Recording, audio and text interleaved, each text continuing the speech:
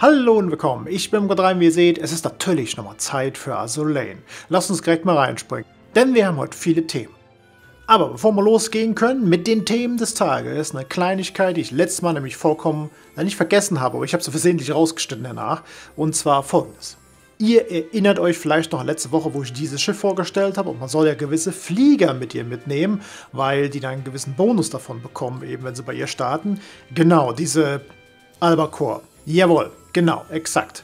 Und äh, ich hatte ja gesagt, dass diese hier nur noch momentan in einem gewissen Event abzustauben wären. Dem ist nicht wirklich so. Denn diesen Dive-Bomber kann man tatsächlich auch im Gear Lab eben forschen gehen. Ich wollte noch kurz darauf hingewiesen haben, weil letztes Mal nämlich auch einer was drunter geschrieben hat diesbezüglich, was ich ein bisschen unter den Tisch gekehrt habe. Aber ja, man kann Albacore eben auf diesem Wege erhalten.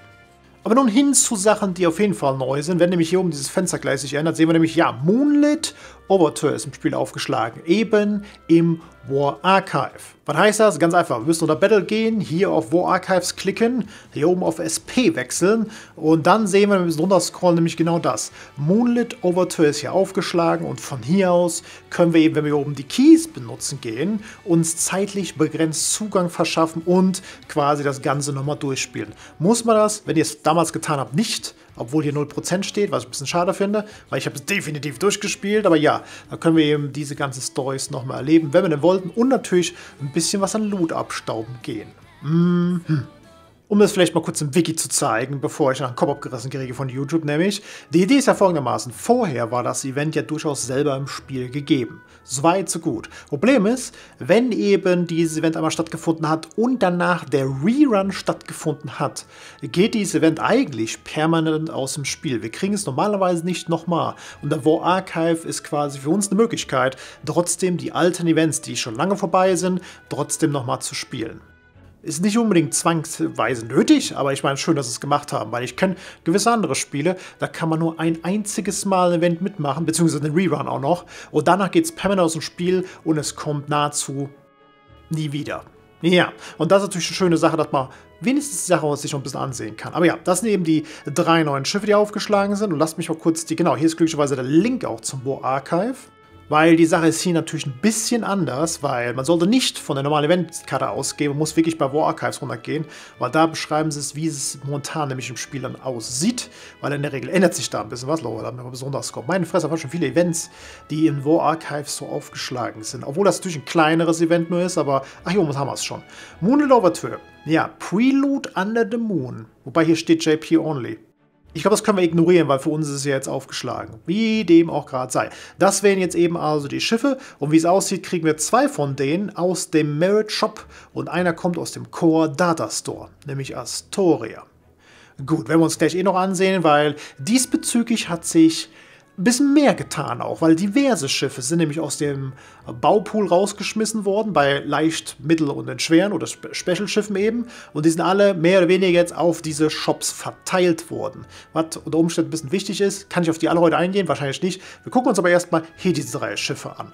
Aber ja, das wäre jetzt eigentlich das Wichtige hier zu wissen. Das ist also, was wir abstauben gehen können. Äh, klicken wir mal kurz hier drauf. So, Astoria wäre das schon mal. Ein schwerer Kreuzer eben von der Eagle Union. Mhm. Und ja, ich tue jetzt nur quasi für diese Schiffe sehr ins Detail gehen, weil für die ganzen, ganzen anderen Schiffe, die wir uns gleich ansehen werden, äh, packe ich mir ein paar raus, wo ich denke, dass ich dazu was erzählen kann. Wenn sie mit New Orleans Class Schiffen unterwegs ist, bekommen die alle nämlich einen Bonus. Und zwar nämlich plus 20% auf Treffergenauigkeit und Flugabwehr und plus 10% Feuerkraft. Was ähm, eigentlich gar nicht schlecht ist. Aber lasst uns kurz noch einen Blick drauf schmeißen, wer zum Henker sind überhaupt diese ganzen New Orleans Class Schiffe. Das wären Hidi also alle. Astoria wäre dabei, Minneapolis wäre dabei, New Orleans macht vielleicht Sinn, Quincy, San Francisco und äh, Vicensis. Mhm. Ja, also zum Buffen dieser Schiffe wäre vielleicht sie mitnehmen nicht unbedingt völlig verkehrt. Ihr zweiter Skill wäre gewesen Protective Armor. Reduziert den Kanonenschaden von Zerstörern und leichten Kreuzen auf dieses Schiff bei 20%. Ja, das, ja, ja. Wobei, wenn, ja, ich meine, Zerstörer haben meistens was mit Torpedos zu tun, deswegen, ja. Aber besser als nichts. Und wir haben noch ein All-Out Assault, wo eben nach einer gewissen Schussfolge eben Special rausgehauen wird. Meistens so Dauerfeuer. Okay. Dann hätten wir auch Quincy, mhm. Heavy Cruiser, auch wieder Eagle Union, Wunderbärchen. Ach, was ist das wieder schön, übersichtliche Skills zu haben. Als erstes hat man nämlich Full Firepower. Alle 20 Sekunden haben eine bis zu 60% Chance plus 40% äh, Feuerkraft zu kriegen. Was eigentlich ziemlich nice ist, gerade für einen Heavy Cruiser vor allem, die eh meistens die beste Feuerkraft haben, wenn man nicht gerade vom Battleschiff ausgeht. Aber wir reden ja von den vorderen Schiffen, nicht wahr? Und dann sonst haben wir noch hier Protective Armor, was natürlich wieder den Gun Damage oder auch Kanonschaden eben reduziert, von Zerstörer und leichten Kreuzern bis zu 20%. Und am Ende wieder ein All-Out Assault. Schön. Und dann kämen wir zu Vicensis, wie ein Heavy Cruiser von Eagle Union. Und äh, jetzt seht ihr schon, die meisten Schiffe eben auf der Liste war tatsächlich, die bei dem Event eh mit aufgeschlagen sind. Deswegen die drei Schiffe zusammenpacken ist vielleicht interessant, aber nicht zwingend nötig, würde ich mal gerade sagen. Gucken wir uns die Skills auch von ihr noch an. Mensch, als ob ich es eben schon mal vorgelesen hätte. Full Firepower, alle 20 Sekunden haben eine 60% Chance, 40% Bonus Feuerkraft zu kriegen für die nächsten 10 Sekunden. Cool. Protective Armor, ja, ja, ja, der Schaden von den ganzen Geschossen eben, von Zerstörer und Cruiser geht um 20% runter. Oh, no, no, Assault, jawohl, haben wir alles hier. Ist quasi eine Kopie von einem gewissen Schiff, was wir gerade schon gesehen haben. Ja. So, das wären jetzt diese Schiffe, die bei dem Event aufgeschlagen sind. Aber aber ich habe ja gesagt, es wären noch andere Schiffe unterwegs und darauf geben wir jetzt ein. Beziehungsweise wir fliegen kurz über die hinweg, weil es sind verdammt viele. Und damit bin ich mal rübergesprungen eben zu den Recent News. Denn hier hat sich tatsächlich, wie gesagt, epochal beinahe was getan. Die ganzen Schiffe, die wir gleich nämlich auf dem Bildschirm sehen, auch die unterste Reihe, die man nur halb sieht, darauf gehe ich gleich noch ein bisschen genauer ein. Diese ganzen Schiffe können wir jetzt nicht mehr im Spiel bauen. Die sind aus den jeweiligen Konstruktionspools entfernt worden. Mhm. Auch die hier unten, aber wie gesagt, da gehe ich gleich genau drauf ein. Mit Ausnahme vielleicht von den beiden hier, weil da steht nämlich extra, dass er eben nur bei den japanischen und chinesischen Server entfernt worden wäre, nicht bei uns. Muss man vielleicht ein bisschen drauf achten im Zusammenhang, aber ansonsten, die sind alle überall rausgeflogen. Aber das Schöne ist, wir können sie an anderer Ecke im Spiel eben wiedererhalten. Das Gute ist, es wird auch darunter immer jeweils direkt bezeichnet, wohin zum Beispiel der PvP-Shop oder der Medal Exchange Shop. Das ist normal die Medals, die man kriegt, wenn man eben Schiffe in Ruhestand schickt. Merit natürlich PvP, Gildenshop, wenn ihr in der Gilde seid und so weiter und so fort. Dort sind die jeweiligen Schiffe jetzt eben in die Menüs reingetackert worden. Und kann ich eben was Sinniges zu den Ganzen sagen? Ist irgendwas Wichtiges an Schiffen dabei, was man vielleicht sich unbedingt holen müsste? Jetzt könnte ich gemein sagen, eigentlich nicht, aber okay. Von denen, die ich benutzt habe, auf jeden Fall kann ich jetzt zwei da Würde verlieren. Diese beiden hier, Ninghai und Pinghai, haben beide einen Retrofit erhalten. Und äh, wenn sie vor allem zusammen in einer Flotte sind, buffen die sich gegenseitig. Ich glaube, sie machen jeweils 35% mehr Schaden, wenn sie zusammen halt hantieren. Und äh, meistens packt man noch ein drittes Schiff dazu, kann man bei manchen Meterübersichten noch von, von, damals ein bisschen sehen, dass diese drei immer zusammen sind. Heute gibt es natürlich andere chinesische Schiffe, die wahrscheinlich ein bisschen besser sind. Aber trotzdem äh, buffen die sich sehr gut hoch. Nur der einzige Nachteil von den beiden ist, und auch dieses andere Schiff, die sind als Vanguard-Flotte relativ langsam in Bewegung. Die packen zwar ziemlich Dauerfeuer aus, aber sie sind relativ langsam. Also nichts für Leute, die ausweichen wollen irgendwann mal zwischendurch. Es sei denn, man baut was an, damit sie schneller sind. Aber das wäre jetzt hier die Geschichte mit denen. Die meisten anderen habe ich hier aus der Reihe sonst gar nicht großartig benutzt. Und fast das gleiche trifft auf die zweite Reihe zu, mit zwei Ausnahmen, und zwar Z25. Warum Z25? Warum ist das das einzige aus der Reihe fast? Ganz einfach. Das Schiff hat eine Fähigkeit. Und zwar wird der Schaden auf euer Flaggschiff um bis zu 25% reduziert. Und solltet ihr, so wie ich, eine Zeit lang das Problem haben, dass eben das immer der Fall ist, mit diesem Schiff wird es deutlich besser. Ja. Es macht zwar sonst nicht schrecklich viel, es ballert halt um sich, aber dadurch, dass eben das äh, euer wichtiges Schiff oben in der Mitte halt am länger am Leben bleibt, ist das vielleicht eine Idee. Vielleicht eine Idee. Und das einzige andere Schiff hier, wo ich jetzt zwei, drei Sätze zu erwähnen wollen würde, wäre Atago. Natürlich.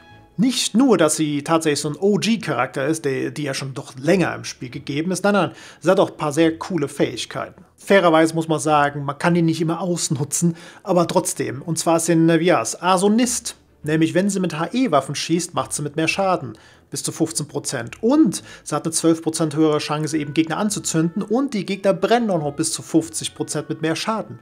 Deswegen sie ist so wie ja, ja Firestarter, also will jeden das alles abfackeln und äh, zwischendurch schießen sie Torpedos eben zweimal ab, nämlich mit 30% Chance und sie hat noch so ein All-Out Assault, wo sie, wie es aussieht, aber noch ein bisschen Evasion an sich vergibt, nämlich 10% beim allerersten Mal, wo sie es benutzt. Alles zusammen gesehen nicht unbedingt verkehrt, Gibt es bessere Schiffe als sie? Ja, aber sie ist eben. Sie ist eben sehr knuffig, sagen wir mal gerade so. Das wäre jetzt von den Schiffen hier oben, weil die meisten anderen habe ich tatsächlich überhaupt kaum benutzt, deswegen kann ich zu denen gar nichts Gutes erzählen. Und ich gehe auch nicht auf alle jetzt ein, das ist immer früh nämlich noch hier. Allerdings müssen wir ein bisschen runter scrollen, weil diese Schiffe hier, die sind tatsächlich schon ein bisschen spezieller, möchte ich beinahe sagen. Wie ihr seht, die sind auch jeweils überall rausgeflogen. Die kann man also so im Spiel, wie gesagt, nicht mehr bauen, aber wie gesagt, wir können sie an andere Ecken hierher kriegen.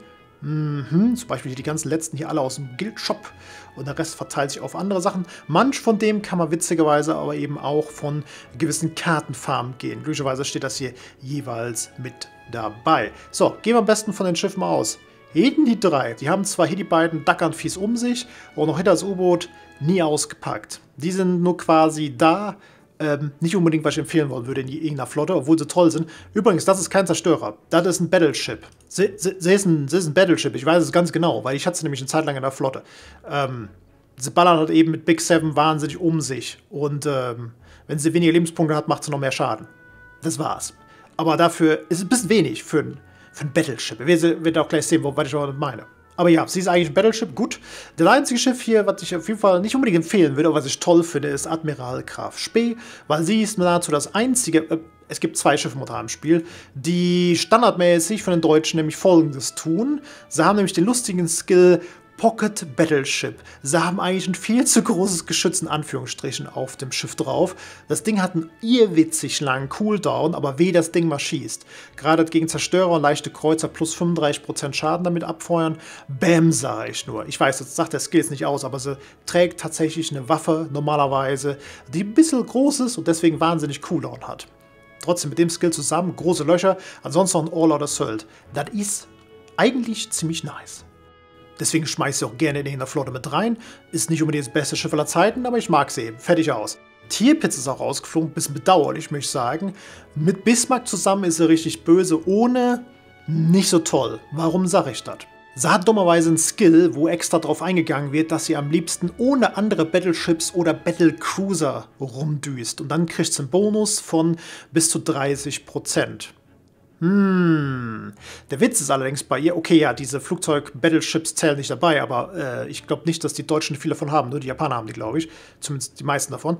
Äh, nein, was ich sagen will, wenn sie mit Bismarck zusammen ist, kriegt sie von ihr plus 40%. Deswegen ist sie der Skill quasi irrelevant, weil sie kriegt einen besseren Bonus durch Bismarck, als was sie hier verliert. Und ansonsten hat magnetische Torpedos, die zwischendurch über die Karte düsen und Gegner ein bisschen verfolgen. Das ist eher uninteressant, aber ansonsten ist es es, es schießt gerade mit, äh, was ich so gerne benutze, ist immer mit panzerbrechenden Waffen, die schnell schießen und dann ballert sie doch mit doch gutem Schaden von hinten mit rein. Muss man einfach mal sagen. Prince of Wales, brauche ich gar nicht drauf eingehen, ich habe sie nahezu nie benutzt. Ähm, deswegen lasse ich es auch gerade. Duke of York habe ich eine Zeit lang benutzt. Ich war nicht davon überzeugt. Nicht wirklich. Ich meine, manche der Skills von ihr, die sehen nicht schlecht aus. Ich meine, wenn sie auf maximaler Stufe ist, alle 20 Sekunden eine Special Barrage raushauen, ja, die Gegnergeschwindigkeit reduziert. Ja. Aber in meinen Augen ist das zu wenig, ganz ehrlich gesagt. Alles in allem gesehen. Und ja, wenn sie öfter mitgenommen wird, macht es auch immer jedes Mal mehr Schaden, wenn sie schießt. Aber trotzdem, im großen Zusammenhang meine ich, wäre sie immer auf dem absteigenden Ast gewesen. Es gibt einfach Battleships, die ein bisschen mehr auf die Reihe kriegen als sie. Wobei, wie gesagt, ich habe es halt zu oft benutzt, habe gesehen, auch vom Schaden her Vergleich zu anderen Schiffen in der Flotte, sie ist eben nicht ganz da. Und damit kommen wir zum letzten Schiff, wo ich jetzt drauf eingehen wollen würde, nämlich Mikasa. Was ist an Mikasa toll? Davon abgesehen, dass es äh, Sakura Empire ist, was schon mal sensationell ist. Nein, nein, was völlig anderes, nämlich ihre Skills. Weil Reborn Combined Fleet Flagship ist wohl der derbste aller Zeiten, nicht unbedingt aller Zeiten, aber das ist schon ziemlich gut, muss man sagen. A hat sie eine Fähigkeit, eine 12% Chance, den halben Schaden nur zu fressen, wenn sie was abkriegt. Das ist nicht schlecht. Und jetzt geht es nämlich weiter gerade. Wenn sie ein Flaggschiff sein sollte, wird die Feuerkraft, die Nachladegeschwindigkeit von allen alliierten Sakura Empire Schiffen um bis zu 20% erhöht. Ja, nee, ne? Das ist Feuerkraft und Nachladen? Der war Shit, sage ich nur. Wenn man so eine Dacker, Dacker, Dacker Flotte reinschmeißen will, sie als Flaggschiff dabei haben, ist wirklich nicht verkehrt. Mein Problem ist nur, ich habe ähm, gewisses, äh, gewisses gewisses anderes Flaggschiff immer und äh, sie, sie macht alle, alles kaputt, wenn sie alles eben schießt. Äh, aber ansonsten wird der Buff natürlich sensationell. Ansonsten haben wir noch hier T-Cross Formation. Wenn sie eben ihr Hauptgeschütz abfeuert, haben wir 60% Chance, dass der Schaden von allen anderen Battleships und Battlecruiser um bis zu 20% erhöht wird für die nächsten 8 Sekunden. Äh, dummerweise auch diese Aviation Battleships zählen nicht mit rein. Ist auch vollkommen egal, weil auch dieser Buff ist nicht schlecht. Das heißt, wenn man so bufft, schon ziemlich was durch die Bank, muss man gerade sagen. Gerade andere äh, Battleships in der Flotte, dank des Buffs hier oben ja auch, wenn es vor allem Sakura-Schiffe sind, dann ballern die wirklich ziemlich um sich, vor allem wenn die immer, ich sag mal, halbwegs zusammen rumschießen. Deswegen, das, deswegen ist, äh, ist ein tolles Schiff, sofern man nicht ein gewisses anderes gerne benutzen möchte.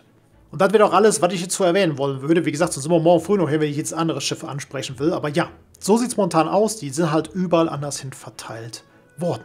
Und ich hätte fast gesagt, wir gehen weiter zu den Skins, aber halt, da gibt es noch eine Kleinigkeit, die ich anmerken wollte, so als kleine Vorschau für Dinge, die bald bei uns im Spiel aufschlagen werden. Wir wollen ja nicht nur in die Vergangenheit gucken, sondern gucken mal kurz in die Zukunft. Auch wenn es nicht zu viel ist, aber Aurora Noctis Rerun haben wir bald am Start. Vom 14.04., wie es aussieht, bis zum 20.04. Mhm.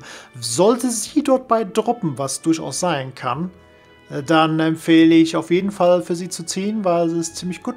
Hier, sage ich ja schon mal. Sage ich schon mal vorneweg. Wobei, Aurora Noctis, lasst uns kurz mal gucken gehen, weil das Event ist Rerun-Kennzeichen, müssten wir wissen, was das ist.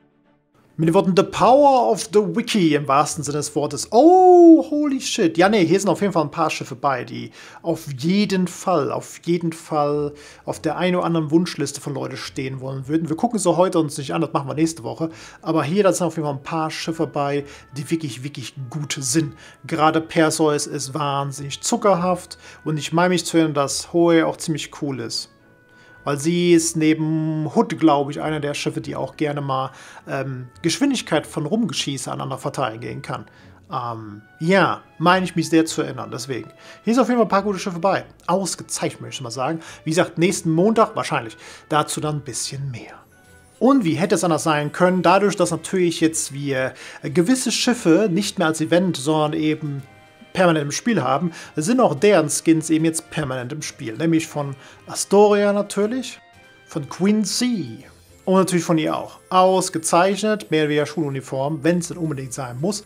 Jo, dann wären wir wieder fertig für heute. Danke fürs Zuschauen zuhören. Das war Mega 3 und so viel zum Thema erstmal wieder Azulane und der Dinge, die jetzt äh, neu ins Spiel gekommen sind, beziehungsweise Dinge, die uns bald erwarten werden. Ja, ich weiß, ich habe auch schon gesehen, dass äh, gewisse Sachen gespoilert wurden von einem komplett anderen Schiff, von einem Event in der Zukunft, aber wir gehen darauf ein, wenn es dann soweit ist. Von so gewissen Kurfürst? Fragezeichen.